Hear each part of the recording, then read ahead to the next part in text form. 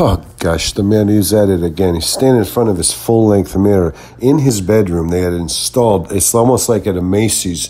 They've got these wraparound mirrors. You can see yourself from every angle. It's really amazing, except for directly behind you. But you can turn around and look and you can see everything. But you know, it's an amazing wraparound mirror. But sometimes the man he gets kind of intoxicated. He stands there. He starts yelling into it. And here we go again. He's yelling and screaming at Stephen A. Smith because he said Stephen A. Smith has given Kyrie Irving too hard of a time.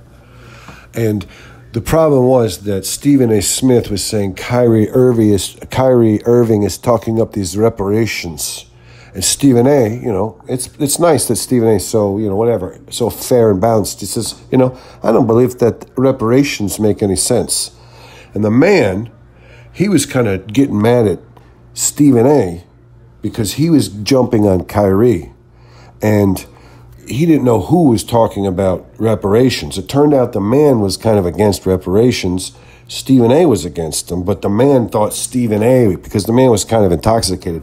So he went up there and he started talking into his mirror to himself, but for some reason, even though he was talking directly to himself in the mirror, he was actually speaking to Kyrie. And he, and he was staggering back and forth because he was particularly intoxicated. He says, Where's my effing reparations? Uh, and he said Kyrie, but then, then he said Stephen A. And because he didn't know if he was talking to Stephen A. or Kyrie, because he wasn't sure which one was advocating for the reparations.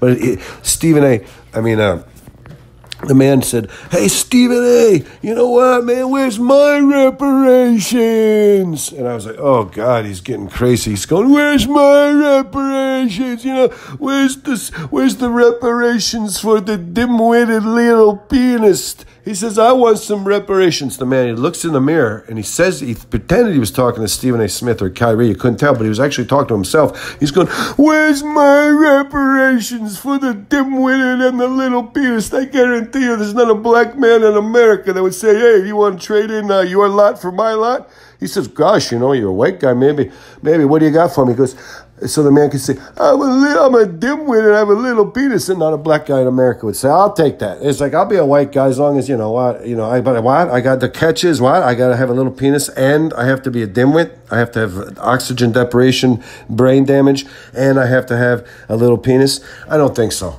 And that's what the man said. He was staggering back and forth. He was going, Man, I tell you what, Stephen A., you go to any black guy on any street in America, you say, You want to be a white guy, the only catch is you got to be a dimwit with a little penis. And nobody, nobody's taking that. As a dog, I could tell you, the man was right about that. No one is taking that trade. So, you know, if there are reparations due, and there could be, you cannot forget about the dim-witted little penis. I mean, let's be fair.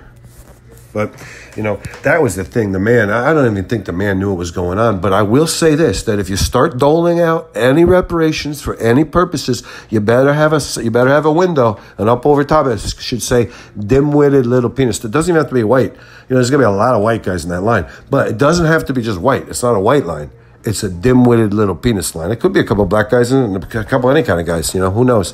It's going to be a, you know, some days it might look like a whites only only line, but it's not. It's a diversified line. It's open to all. So whatever. But you know, if there's reparations for the one thing, you got to have reparations for there. That's what I'm saying as a dog. That's the only thing I'm saying. But you know, it's okay. It doesn't. Yeah, eh, whatever.